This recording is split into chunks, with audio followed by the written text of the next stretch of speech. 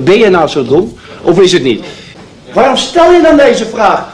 Ben ik nou degene die zo slim is of ben jij zo dom? Volgens mij heb ik het toch keurig verwoord? Nu ben ik weer de, de, de arrogante klootzak, de autoritaire klootzak. Maar dat zijn allemaal domme vragen. Van His en van jou net. Je moet nu bij Theo van zijn, niet bij mij. Ja, goed, als je het niet begrijpt, sorry. Hou maar, ik heb het goed verwoord. Je mag het opschrijven. Je mag nog je commentaar erop geven. Best.